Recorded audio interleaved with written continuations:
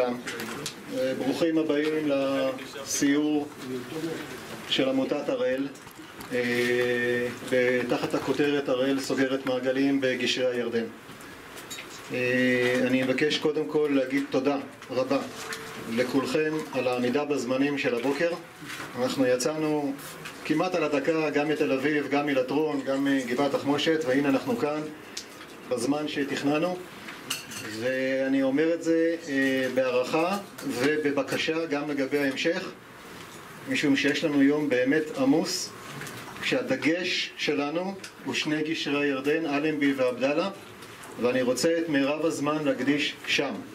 לכן העצירה כאן והעצירה בתחנה הבאה במצפה דני תהיינה עצירות קצרות יחסית, אה, כדי שנוכל להגיע עד 11 וחצי לגשר אלנבי. ונחווה את החוויות של שני הקשרים ונוכל גם לסיים את היום הזה אה, גם בהרגשה שהוא משמעותי וגם פחות או יותר בלוח הזמנים שתכננו שאני מאוד, מאוד שואף לעמוד בו. אה, המילת תודה השנייה שאני רוצה לומר אותה כאן אה, היא לכל החברים הנכבדים שהצטרפו אלינו לסיור הזה מקבוצת עמיתים לטיולים זה לא מובן מאליו. אנחנו אה, ממשיכים פה שיתוף פעולה שהתחיל בחול המועד פסח ביום חטיבת הראל לדורותיה, כשהתגייסנו וביצענו שישה מסלולים מקבילים אה, בפרוזדור ירושלים, ואנחנו מן הסתם נחזור על זה גם בשנה הבאה. וגם הפעם אה, עמית, מה שנקרא, נגנב על הרעיון של הסיור לגשרי הירדן והחליט לשתף גם אתכם. ועל המפעל של עמית אין צורך להכביר במילים, זה מפעל מטורף ומדהים. ואני שמח שאנחנו היום פה ביחד, ציבור מאוד מגוון. יש בינינו גם ותיקי הראל מששת הימים, ואת חלקם אתם עוד מעט תכירו, כאן במקומות הבאים.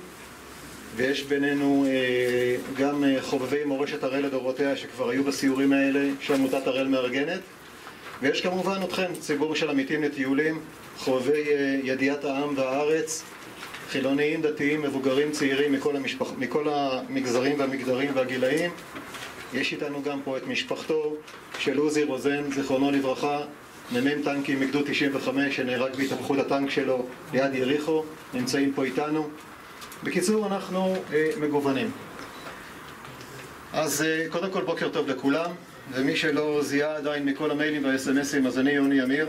אה, אני אני הראל לדורותיה גם בגנטיקה, ההורים שלי היו שניהם בגדוד הפורצים, גדוד הרביעי בחטיבת פלמח הראל. אה, אבא שלי זכה להיות אפילו אסיר אה, של הבריטים בבית הסוהר במגרש אבוסים, הוא נעצר בבית הערבה באימוני נשק לשנת 45, ישב שנתיים וחצי עם חברים שנעצרו איתו בחדר 23 במגרש אבוסים. ואני יצא לי בשנת 2003 במהלך שירות המילואים שלי כקמב"ץ בגדוד אה, שריון במילואים שהחטיבה שלנו תשנה את מספרה ותקבל את המספר 10 והיא תקבל גם את השם הראל ואני סגרתי מעגל גם עם עצמי, אבא שלי כבר לא היה בחיים אז, אבל לאימא שלי יכולתי לומר, אימא גם אני קצין בחטיבת הראל. אה, בהמשך הייתי קמב"ץ של החטיבה, לפני שלוש שנים שהשתחררתי משירות מילואים פעיל. ואני עוסק במורשת החטיבה לדורותיה מתש"ח וגם לפני, כי החטיבה שהוקמה ב-16 באפריל 48 הוקמה על בסיס פלוגות וגדודים שכבר פעלו לפני כן. אה, רק עניין של מבנה ארגוני והקמת מפקדה בסוף מבצע נחשון וערב מבצע הראל של העלאת השיירה הגדולה לירושלים. החטיבה קיימת לאורך כל השנים, התחילה דרכה בצה"ל אחרי מלחמת העצמאות כחטיבת חי"ר מילואים. כך היא גם יצאה למלחמת קדש. כך היא גם כשלה במלחמת קדש באזור אום כתף. ואז קיבלה את המשימה חטיבת השריון 7 שפיקד עליה אורי בן ארי, שלפני כן היה מ"פ א' בחטיבת הראל, והמהלך, האיגוף השריונאי שהוא עשה שם הוא חלק מלימוד תורת חיל השריון, ומהלך שגרם לכך שחיל השריון קיבל חשיבות מאוד מאוד גבוהה מאז ואילך. בהמשך הוא גם היה קצין שריון ראשי, מפקד גייסות השריון, ככה קראו לזה. אה, פרש מהצבא והוחזר ערב מלחמת ששת הימים.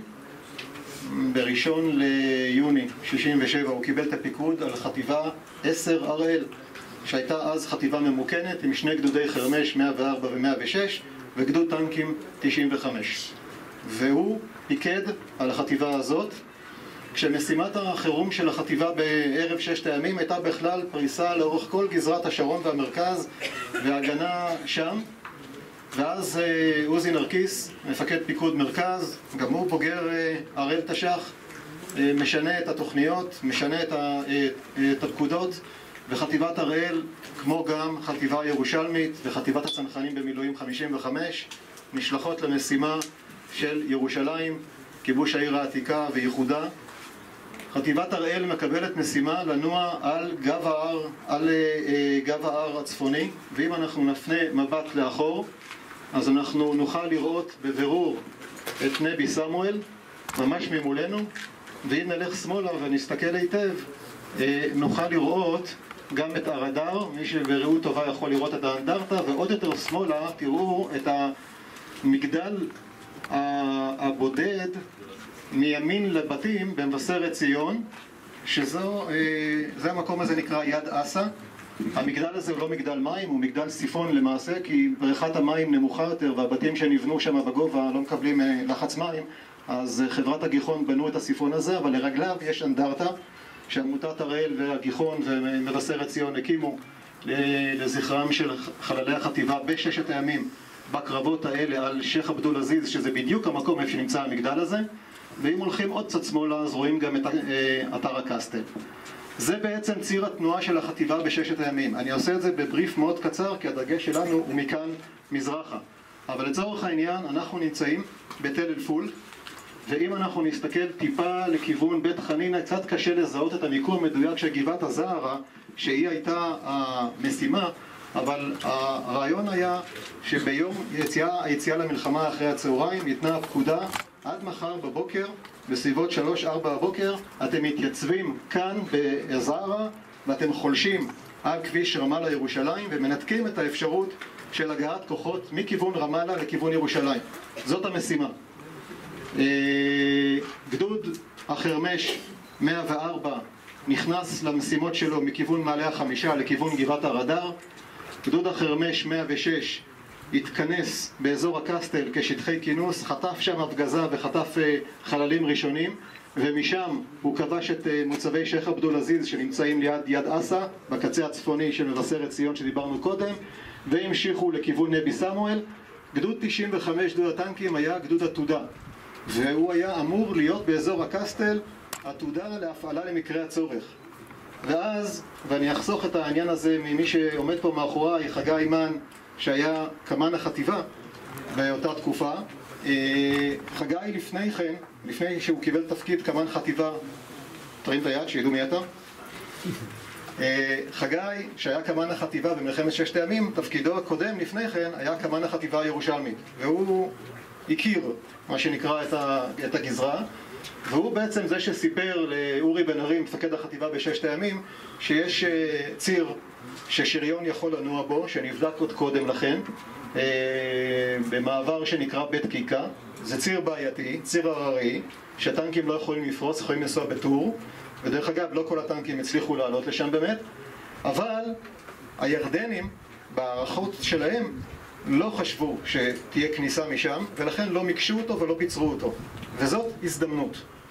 והדבר הזה גרם לשינוי בתוכניות של מפקד החטיבה, ולהחליט להפעיל עתודה, להפעיל עתודה ככוח שמבצע מאמץ, זה אירוע בפני עצמו בכל יחידה צבאית. אנחנו בנויים על תורת לחימה שאומרת חלק מהכוח יוצא למאמץ העיקרי, חלק יוצא למאמץ משני או מאמץ הטעיה, אלה המושגים שמדברים עליהם, ותמיד משאירים כוח עתודה. כוח העתודה אמור או לנצל הצלחה ולייצר דרך שם את המהלך הבא, או שהוא אמור לשמש לחילוץ אה, אה, המאמץ העיקרי עם כשל וצריך לתגבר. אורי בן ארי קיבל החלטה על בסיס המידע שחגי נתן לו לשלוח דו 95 במסלול הזה וההנחיה ל-95 היא להגיע לכאן, לשלוט על כביש ירושלים רמאללה. בסופו של דבר לא נכנס לפרטי הקרב, הגדוד הגיע גם כוחות 106, גם כוחות 95 וגם יחידת דוכיפת יחידת אה, צנחנים בסדיר שסופחה לחטיבת הראל. הם נסעו על שריוניות צרפתיות AML שסיפרו עליהם סיפורי אגדות לפני שרכשו אותם אבל בסופו של דבר הם אה, קצת היו פחות. בכל מקרה הם הגיעו לכאן ופה במסגרת הקרב, פה על תל אל פול נהרגו ארבעה, ביניהם מפקד הסיירת. אה, יש אנדרטה לכבודם בפסגת זאב, יש שם גן עם אנדרטה לכבודם ולחללים נוספים של היחידה הזאת עד שהיא פורקה. בכל מקרה, פה בעצם מסתיים איזשהו פרק, נקרא לו הפרק הראשון בלחימה של החטיבה בששת הימים. מכאן החטיבה מקבלת עוד שתי משימות. אחת, לנוע דרומה לגבעת המבטר, היום הכל בנוי, אבל המבטר היה מבטר, כמו שהוא מובן בעברית, בין שתי גבעות. למעשה המוצב הירדני שישב בגבעת המבטר היה הרבה יותר משמעותי וחשוב מהמוצב בגבעת תחמושת מבחינת השליטה שלו על צידי התנועה. זו הייתה המשימה, ושיטת הקרב הייתה הלם שריון. זאת אומרת, הטנקים נוסעים, קוראים את הדרך, מה שנקרא, יורים לכל הכיוונים, החרמש אחריהם, וכך זה נעשה, התנגדות קלה כזו או אחרת, והאזור ההוא נכבש. במקביל, פלוגת טנקים של החטיבה הצטרפה לחטיבת הצנחנים והייתה מעורבת בכניסה לעיר העתיקה. הסיפור הידוע על הטנק שנתקע בשער האריות הוא טנק של פלוגה ז' מחטיבת הראל. המשימה הבאה שניתנה הייתה לכבוש את רמאללה. והכיבוש של רמאללה נעשה על ידי גדוד הטנקים 95, פעם ראשונה שגדוד שריון כובש עיר. שוב, באותה מתכונת של הלם שריון, שני טורי שריון, נכנסים, דורסים כל מה שיש. לא הייתה התנגדות גדולה מדי, רמאללה נכבשת, הכוחות נערכים מסביבה. וזאת בעצם נקודת הזמן שבה אנחנו מתחילים את הסיור שלנו. אני נתתי לכם את הרקע, אבל כשאנחנו נמצאים פה בתל אל פול, ואנחנו רואים 360 מעלות, אנחנו מבינים מה קרה ממערב לכאן, סגירת מעגל הראל ששת הימים עם הראל 48, הצלחות במקומות שנכשלו בהם ב-48, כולל אורי בן ארי עצמו, בין אם זה ברדאר, בין אם זה בנבי סמואל, בששת הימים הוא זוכה לעדנה. יש אנקדוטה על כיבוש גבעת הרדאר, שהוא מקבל דיווח, הרדאר בידי, הוא לא עונה, הרדאר בידי, הוא לא עונה, שואלים אותו למה לא ענית, אז הסיפור הוא שהוא אמר שהוא נהנה לשמוע את זה. וזה בסדר, אפשר להבין אותו, אחרי שהסיפור הזה לא כך הצליח, זה לא משנה כמה הסיפור מדויק, הוא, הוא סיפור טוב. סגרנו מעגלים ב-67 עם 48 ומגיעים לפה, ופה מתקבלת פקודה חדשה. אגב, מבולבלת. חברון, לא חברון, בקעה, לא בקעה. בסופו של דבר, החטיבה יורדת לבקעה, כובשת את יריחו ומקבלת משימות לפיצוץ ארבעה גשרים על הירדן. גשר מנדסה, שנמצא מעט צפונה לגשר אלנבי ולא ניתן לגישה אה, כיום, הוא גם לא רואים אותו כך טוב, אבל מי שבפייסבוק אני העליתי אה, צילום שלא מזמן קצין ההנדסה שם שחטיבת הבקעה עשה, בתוך צמחייה אבותה, שדה מוקשים מסביב, אפשר להגיע, מה שנקרא, בחבירה אישית עם הצבא, לא, לא אוטובוסים, לא תיירים. תחזור לשם של הגשר. גשר מנדסה. אה, זה הגשר הצפוני שפוצץ.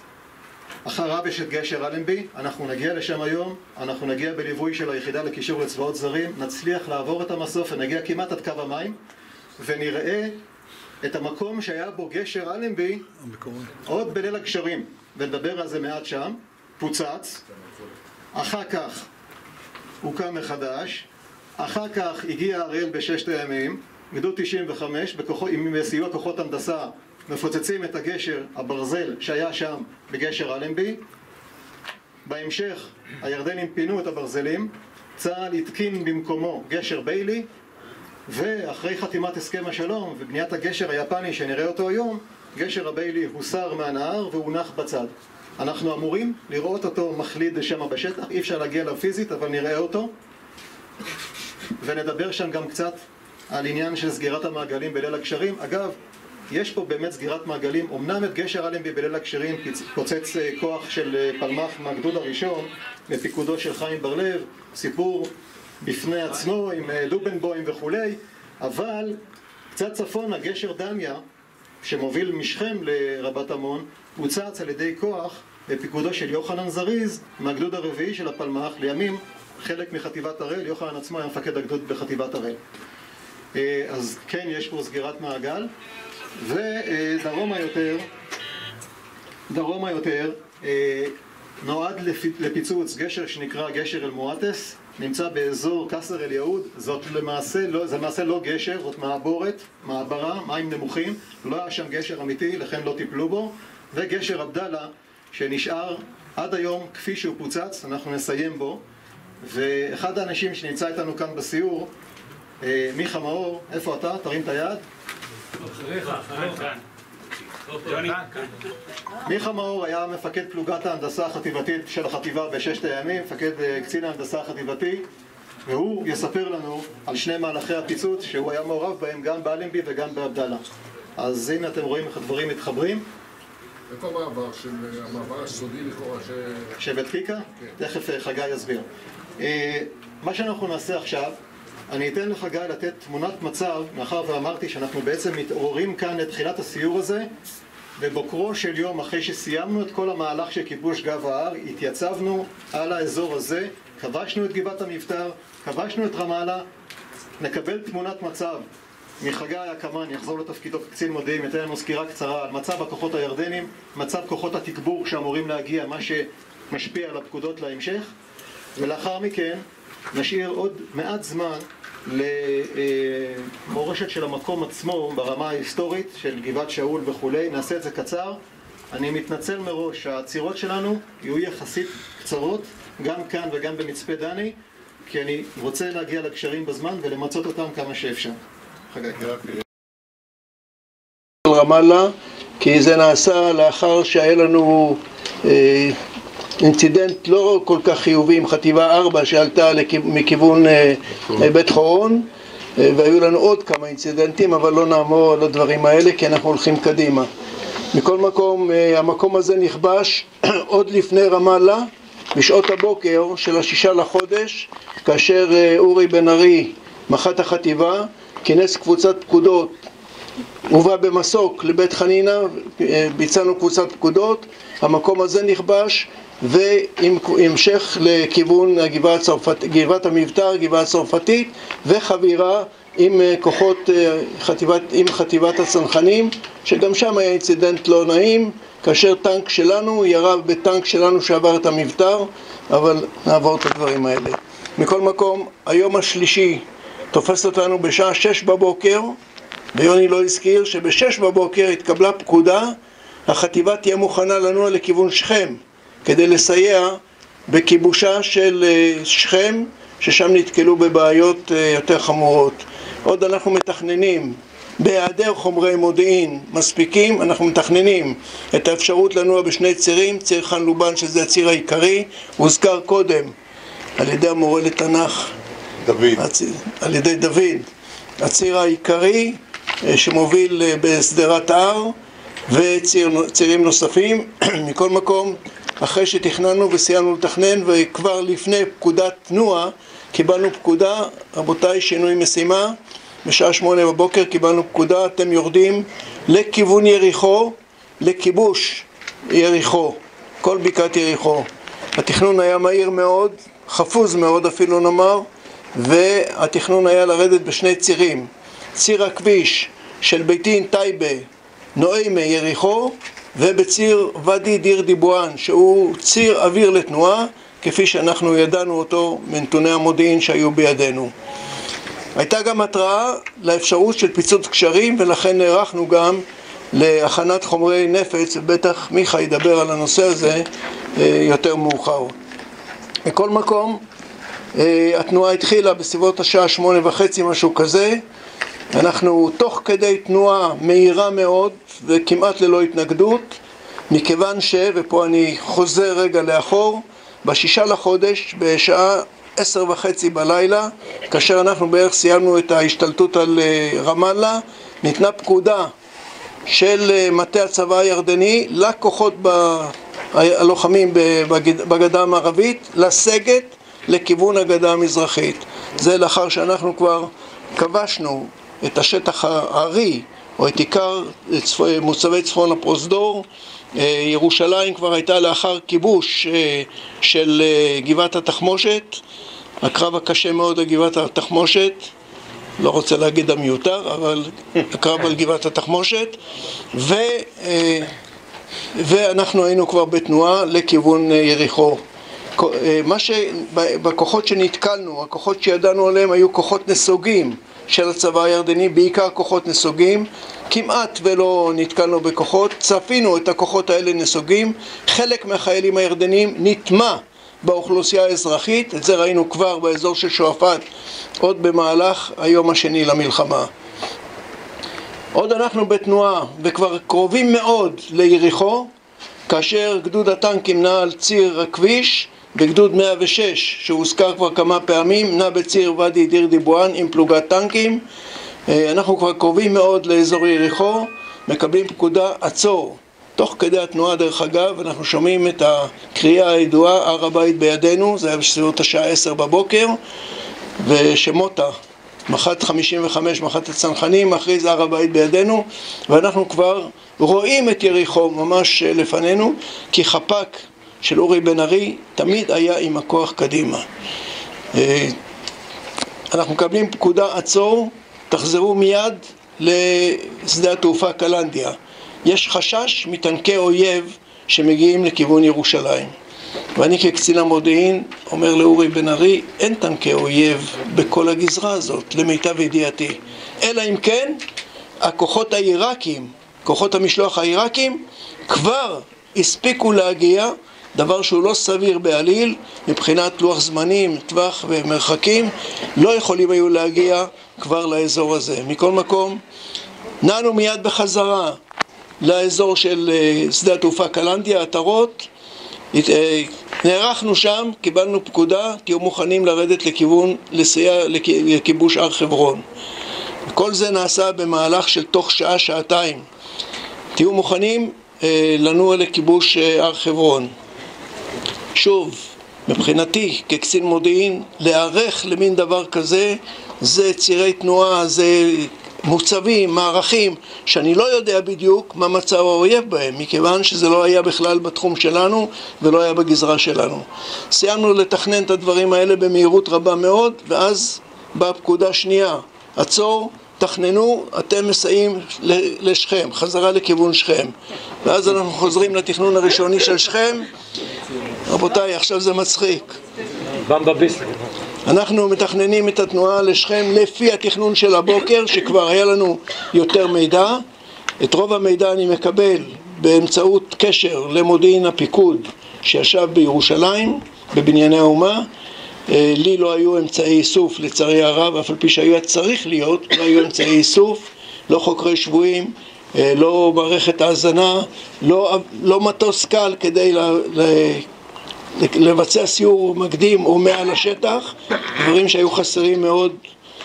מכל מקום, בסביבות השעה אחת וחצי בצהריים, הפקודה היא, אתם נעים לכיוון יריחו. חזרה לפקודה הראשונית, אנחנו יורדים לכיוון יריחו. במהירות רבה התארגנה החטיבה ונענו בשני הצירים שכבר עברנו את חלקם הגדול. אלא שהירדנים שישבו באזור יריחו צפו את התנועות המקדימות שלנו בפעם הראשונה ואנחנו ידענו שמעברי גישרונים ומעברים, אה, מעברי מים על הכבישים מוכנים מבעוד מועד לפיצוץ כדי לעכב תנועות אויב מן הסוג הזה, כלומר כוחותינו ובמקרה הזה אכן פוצץ גישרון אבל אנחנו אלתרנו על גבי המפות מעבר אפשרי ונענו במהירות רבה לכיוון אה, יריחו. בסביבות השעה ארבע וחצי אחר הצהריים הכוחות כבר היו במגע עם אה, יריחו, בטח ובטח בתצפית, אבל גם עם מגע. לא הייתה התנגדות של ממש. גדוד 106 כבש את משטרת, השתלט על משטרת אה, יריחו. גדוד 95, גדוד הטנקים, קיבל פקודה להיות ממשטרת יריחו וצפונה את כל השטח כולו, אה, לתאר אותו. ואז באותה שיטה שנכנסנו לרמאללה, כאשר הפקודה הייתה גדוד הטנקים נוסע קנה ימינה, קנה שמאלה, יורה מפעם לפעם פגזים ומגיע עד תחנת השידור שנמצאת בצפון רמאללה, כך עשינו גם ביריחו. בכבישים הראשיים נסעו הטנקים, ירו לכל הכיוונים, לא הייתה התנגדות של ממש. אנחנו אה, ב... תוך כדי התנועה גילינו, הכוח גילה 12 טנקי פטון שהיו שקועים בבוץ באחד המטעים, מטעי הבננו של יריחו וגם גילינו שני תותחי 155 מילימטר כאלה שהטווח שלהם הוא גדול, תותחי לונג תום והוזנחו על ידי הצבא הירדני שברח אה, מהשטח. רבותיי, עד כאן בקיצור, כמו שאני ביקש. נתת לי אפילו להגיד לך להפסיק. אה, מילה אחת מתקנת למה שאמרתי קודם, אמרתי שנמצאת איתנו משפחתו של חלל החטיבה מששת הימים, אמרתי עוזי רוזן, תיקון עוזי רמון, משפחה פה עם הבת, הנכד והנינים, אז אה, כבוד הוא לנו. אה, עכשיו אני אבקש מחזי כמה מילים על המקום, ומכאן אנחנו נמשיך לתחנה הבאה שלנו. התחנה הבאה היא מצפה דני ליד מעלה מכמש. אנחנו שם נפגוש את נחום ברוכי, שהיה מ"פ בחטיבה, שהוא אה, ייתן לנו סקירה על צירי הירידה לבקעה, גם של גדוד החרמש וגם של גדוד הטנקים. אנחנו נעצור בדרך, ואני מבקש להדגיש, אנחנו נעצור בדרך בתחנת הדלק בכוכב יעקב לא לאוכל ולא לירידה מאוטובוס למנוחה, אלא אך ורק בבקשה למי שחייב שירותים ואין לו פתרון אחר. בסדר? בעיקר אנשים. השירותים עצמם נמצאים בתוך ה-Yellow של התחנה. אוקיי, עכשיו מי שנכנס ל-Yellow וצריך את השירותים וצריך לקנות בזוקה בשביל זה, אז אתם מוזמנים. חזי בבקשה.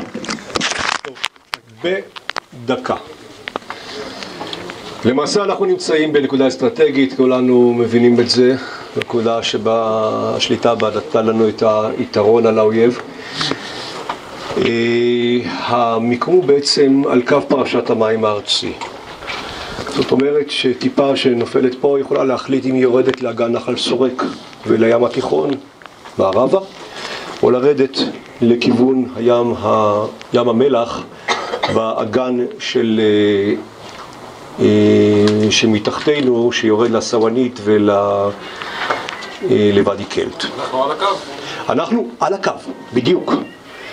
כאשר אנחנו נמצאים באיזשהו עוקף שמעליו, צפונה מאיתנו, ניתן לזהות את הר בעל חצור, שהוא הפסגה הגבוהה של איפה שהיה בוט, בדיוק בהמשך הקו הזה, רואים למעלה את האיגלויים, את הקרמבואים של היאבה של הר בעל חצור, 1016, ודרומה לנו אנחנו יכולים לראות מעבר לרכסים של ירושלים את רכסי הקנוב, שנמצא, רכס הקנוב שנמצא באזור חברון.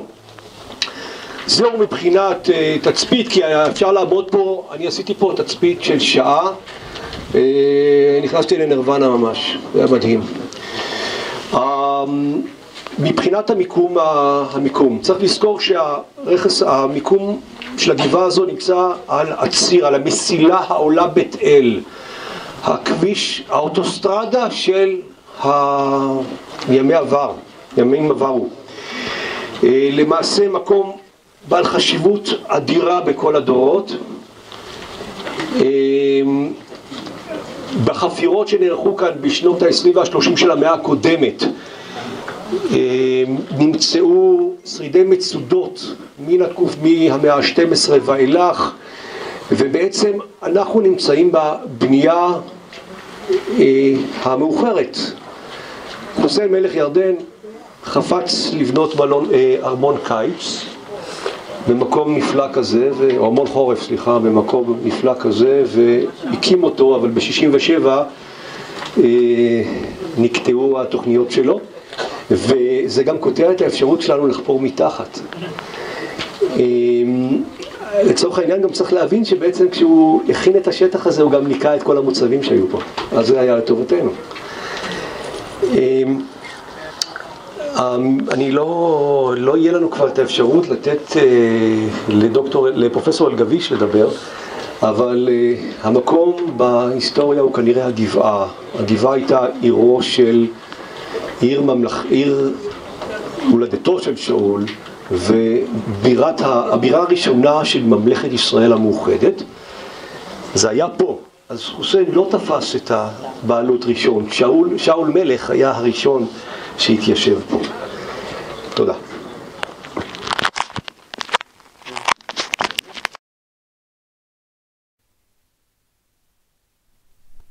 יש שם גם גבעון החדשה. ג'יב גבעון, מקובל. כנראה, וזה לא כתוב בתנ"ך, שגבעון היא עיר הלידה של שאול. הוא יליד גבעון. אה, עכשיו הבעיה זה פה. פה השם לא נשמר. כאן השם לא נשמר, אה, אלגביש, בוא נעשה ככה. דקה אחת הקדחת, מעלים את כולם, ואז אתה... נכנס את כולם, נתחיל מסודר, בסדר? את כל